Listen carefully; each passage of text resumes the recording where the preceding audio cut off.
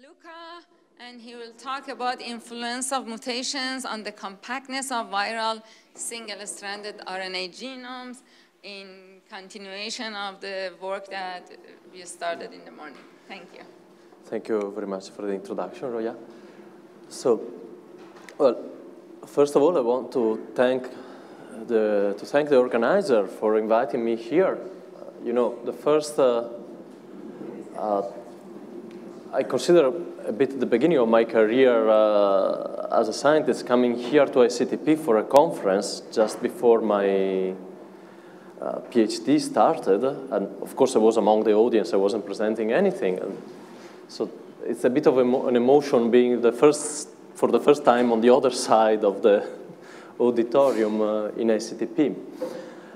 Uh, so as Ria said, I will talk about the effect of synonymous mutations in uh, single-stranded viral RNA genomes, their impact on the size of, the, of said genomes, and uh, I will also present some new results about the effect of the distributions of mutations on, uh, said genomes. Now, this work so many of you will have heard the first half of this, uh, of this presentation, and the second half will be dedicated to the new result. For those who haven't, uh, well, it all started when I was in Ljubljana uh, working with Trudy. I started working on RNAs that with uh, also was finishing his thesis. And one night, coming back from Trieste to Ljubljana by car with uh, Christian, who was going, uh, coming there for a to give a seminar, we started talking about Bill's work, and Christian mentioned, okay, but you know, the, I would very like to know what happens if you consider synonymous mutations, because I've asked them and they couldn't, had not looked yet into it, and okay, we can try to look uh, into that. And this came out of it. I'm very happy about this uh, collaboration. Uh, so, well, the introduction, I believe I can skip by now since we had it uh, from uh, Gelbart, uh, from Bill, and from Avi, also part of the results. Uh, but yeah, it all starts from the different packaging mechanisms between uh, double-stranded DNA viruses uh, and single-stranded RNA viruses. And as Bill very efficiently pointed out with that slide showing how much bigger the double-stranded DNA is than the single-stranded RNA, it becomes clear how the phenotypic uh, um, properties of these two polymers will influence how they are packaged into the capsid. So you require a motor with a, a double-stranded DNA viruses, while single-stranded RNA is a self-assembly process. And uh, again, as was pointed out this morning, in vivo, the right uh, uh, RNA is recognized by the capsid. How that is so, it's well, very fascinating object of research. So there are, as Reidun pointed out, packaging signals in MS2. Some other viruses are believed to not have them, actually. Uh, size turns out to be important. Perhaps there will be also other, several other things, but those are for the moment the ones that are uh, known. And of course, electrostatic plays a very huge role in all of this. Um, so talking about, about the size of the RNA fold, as Avi was, uh, Avi pointed out, there is a correlation between the size uh, of the viral RNA and the size of the capsid, which pointed them to study, uh, now it's kind of a temporal loop I'm presenting your old result after you present mine, uh, pointed them to study what was the size of uh, viral RNAs compared to random RNAs. So Avi already presented uh, all of this this morning, but I will have the slide again since it is the starting point for basically what we did. Uh, long story short, you can, as they said, associate a measure to an RNA fold, which is its diameter, the maximum ladder distance, you have to consider uh, an ensemble, a thermal ensemble of folds, since they are so large that the minimum free energy fold will not tell you much. There are very many folds within 1 kBt of energy. And uh, if you then consider what is the scaling for a random RNA which has a composition, uh, the average nucleotide composition of viral RNA, you obtain that power law, which goes to this to power two-thirds. And instead, if you consider, if you measure numerically what is the size of the viral, icos, uh, viral RNA coming from icosahedral capsid, you get uh, the points, oh, I do have the pointer. You get the points, uh, I, mm. Well, you get the point. Why did it change slide? Sorry. Ah, so, okay, my bad. Up. So you, you get the points uh, again.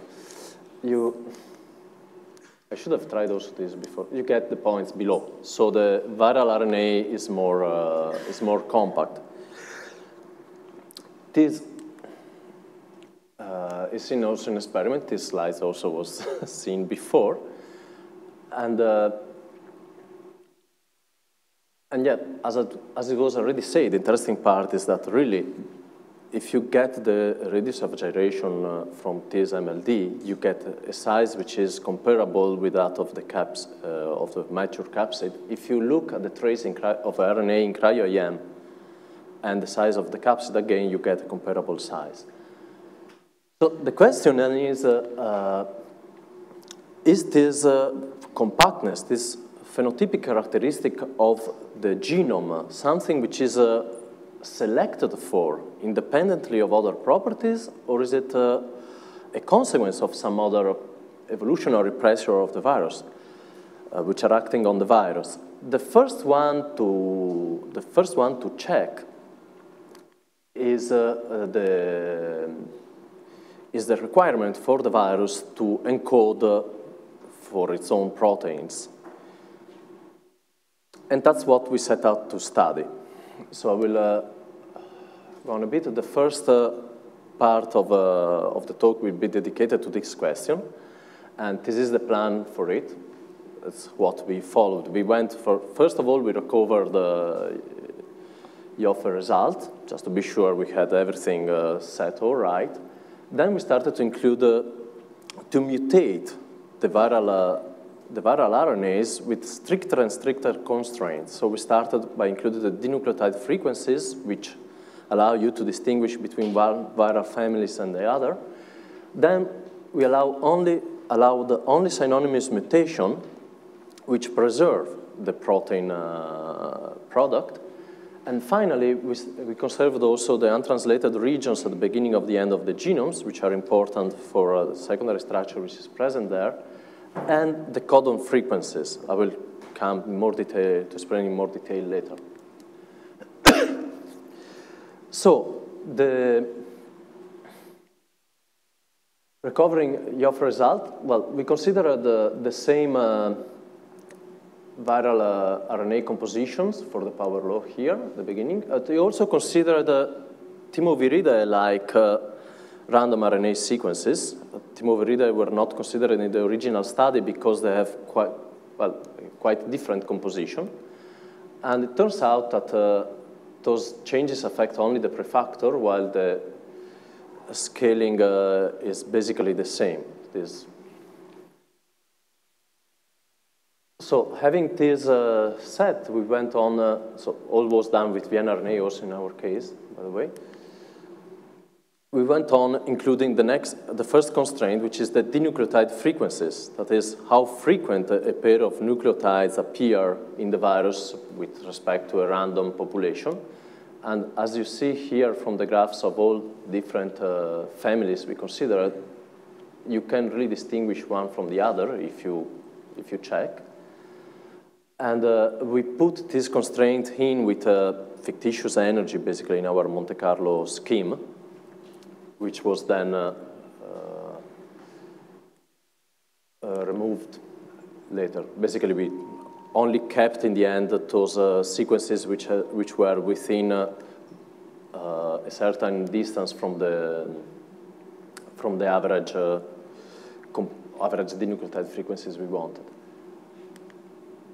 Synonymous mutations was the next constraint. So um, I believe you all of you already know, but normally we get from DNA strands to a uh, messenger RNA to protein synthesis.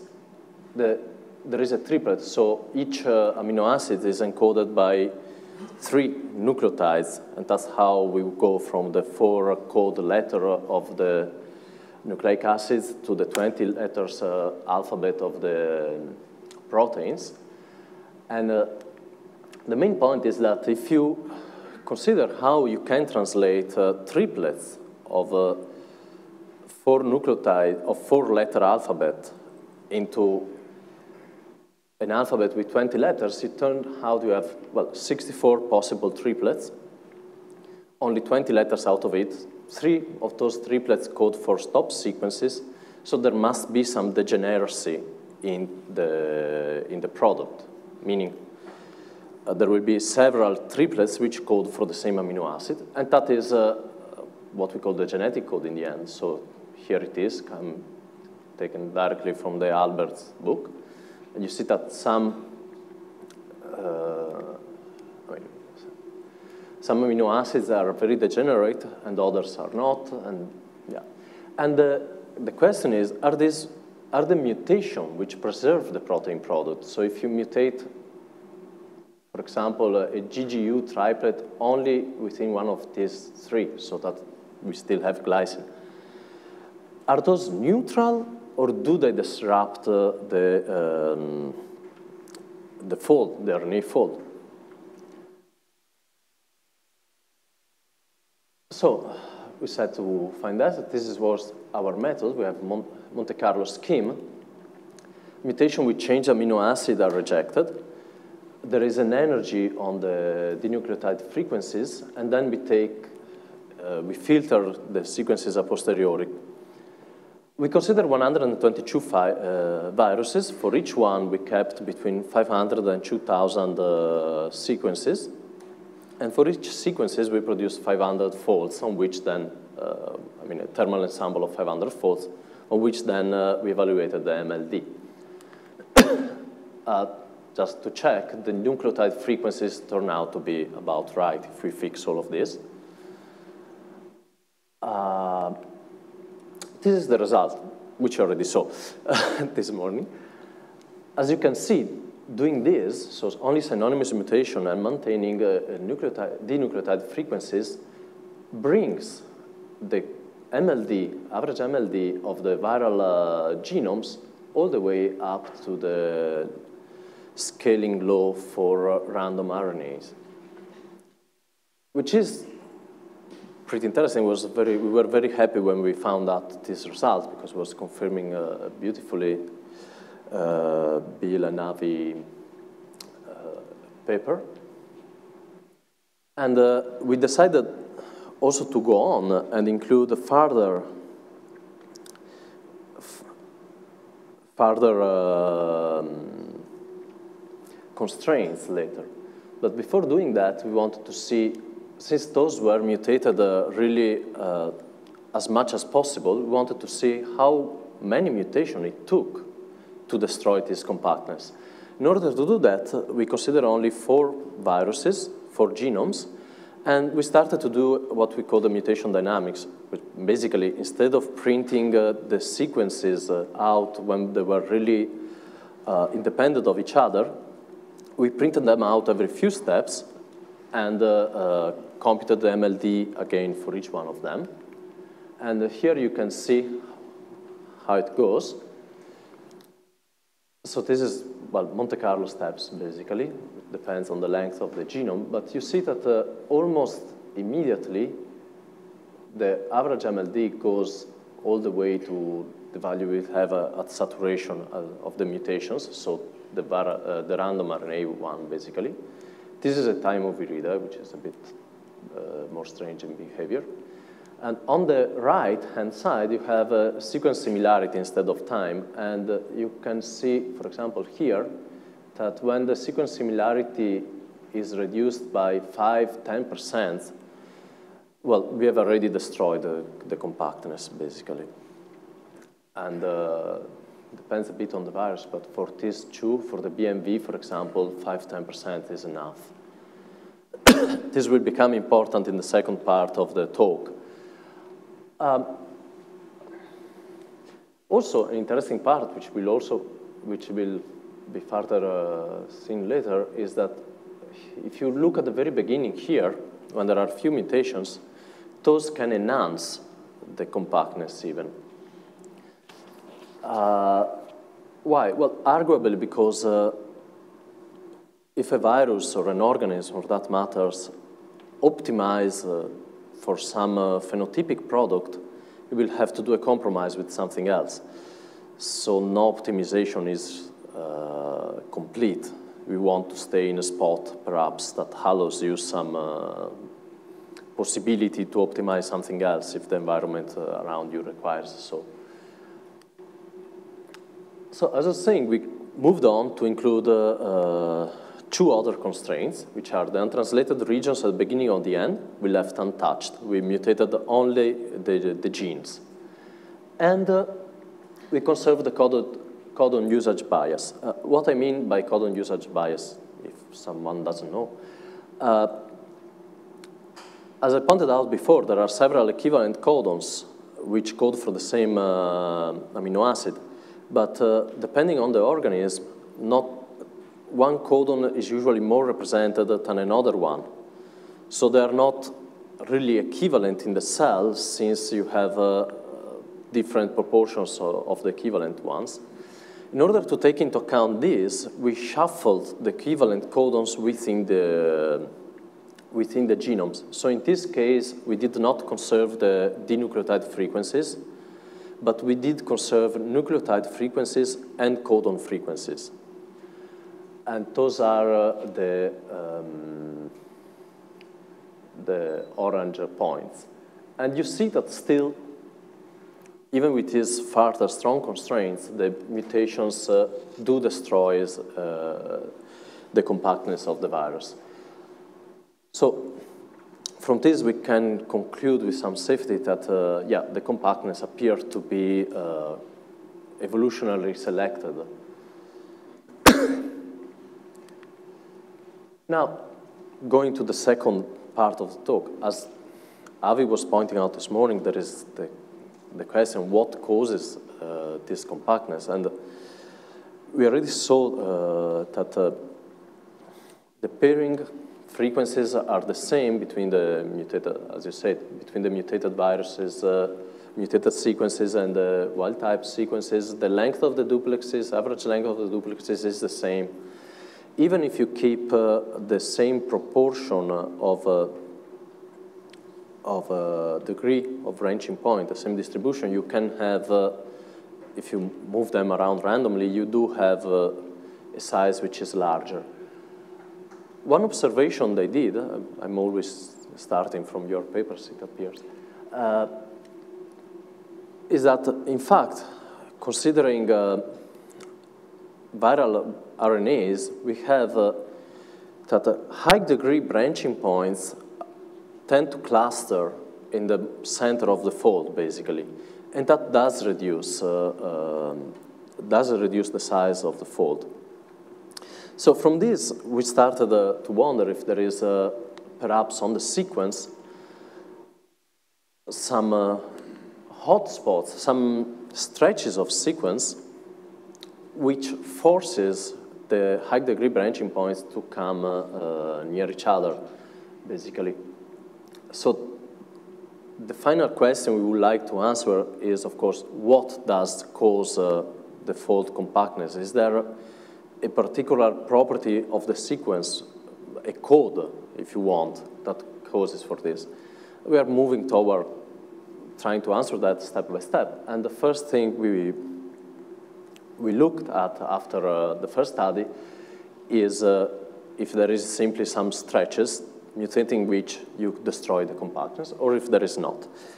So to answer uh, this, we took into consideration two, virus, uh, two viral genomes, BMV RNA2 and uh, phage MS2, which are believed to have very different packaging mechanisms. Uh, MS2, as we have uh, seen, has some strong packaging signals, BMV RNA2 is believed to be mostly electrostatic. They are both, um, and size, they are both compact, and they are about the same size from 2,600 to 3,500 nucleotides, BMV RNA2 and MS2. And uh, on these two viruses, we consider the different kind uh, of mutations distribution, localized mutations if you want. So first, we considered batches of uh, mutations which are local on the genome. So up here, we mutated everything in the orange window, then we moved it, we moved it, we moved it, and so on. Uh, then we considered the average fold, and we mutated the, those portions of the fold which are uh, um, first the most central, and then we moved out to the least central. And finally, for a comparison, we took into account completely random, randomly placed mutation, dispersed ones. Uh, for each, for each uh, window, we produced 100 independent sequences, and uh, for each sequence, 500 folds again, we conserved only the dinucleotide, uh, dinucleotide uh, frequencies this time, where the mutations are not synonymous. We wanted to keep it uh, as general as possible. Um, forgetting anything? So let's go on with the first. Perhaps the movie will clarify it a bit. The first one is uh, uh, we simply move the window around. Each time we produce 100 independent sequences. And uh, for each one of those, we compute uh, the MLD. We consider then different sizes of the windows to see if there is some uh, specific contiguous part of the genome which encode for the compactness. If there is, at a point we will mutate one and everything will explode. That is the, the idea. So here you can see for BMV RNA2 and phage MS2, wild type uh, expected uh, average MLD, shuffled genome, is the, basically the um, power law. And for two different uh, sizes of the mutation blocks, 120 nucleotides in green and 720 nucleotides in green, what is the MLD along, along the genome? So here you have the center of each windows. And there is not much happening. I mean, for BMV RNA2, there is a spot in the center which is a bit more sensible to this kind of mutations. But even if we consider 720 nucleotides, which correspond to 20%, by the way, so this is what, with the synonymous mutation, was disrupting MLD for, uh, as for the quantity. Even in that case, we don't reach the, uh, the power law. For phage MS2, things are uh, even worse, if you want, so that we don't, we reach it even less. Um, below, on the bottom row, you can see the histograms of the MLD obtained combining all the values of MLD for all mutations sites. And really, it doesn't change uh, so much from the wild type distribution. For the small windows, basically it doesn't change at all. So we went on then uh, uh, wondering if uh, perhaps is being central uh, on the fold, which is important. So it's not a contiguous batch along the genome which encodes for this property, but some uh, uh, different batches which come together to form the center. And to do so, we basically put a, a measure of centrality, which I described in the next slide, and we ranked uh, with that all the nucleotides of the, of the fold, and we formed our windows depending uh, our uh, batches of mutation depending on how central the nucleotide is. So it goes like this. From the most central one, our mutation moved outside till they reach the tip of the average fold. And uh, here you can see what would be the most central batch which on the genome is like this, and the least central batch, which corresponds to the three tips, which is a given by three different stretches of, uh, of the genome. Uh, as a measure of centrality, we use the ladder distance again. So if you consider the ladder distance, the set of points which have uh, the lowest uh, uh, ladder distance to each other points on the, on the fold define the center, basically. Then you can consider for each nucleotide what is its ladder distance to this set of points, and that is our measure of centrality. The lower the lower, uh, the lower this ladder distance, the most central we are. Uh, this, for those of you who are familiar with graph theory, is basically equivalent to eccentricity, which would be the maximum, uh, the maximum distance from one point to each one, every other point on the graph, and the point with the lowest eccentricity is the center of the graph. so we can, we can get this measure, we average it over the ensemble, so we get uh, an average distance from the center, and uh, we rank our mutations uh, according to that. Uh, here you can see from the BMV-RNA2 and the phage MS2 the profiles uh, of this um, distance from the center, the average, and in gray we have the standard deviations from these, uh, from these average profiles. And you see that near the center, the deviation is not so much for BMV-RNA2. Well, MS2 is a bit more noisy, but still if we consider a big enough window we are safe that even on different folds, we are uh, keeping uh, the central, uh, the most central regions.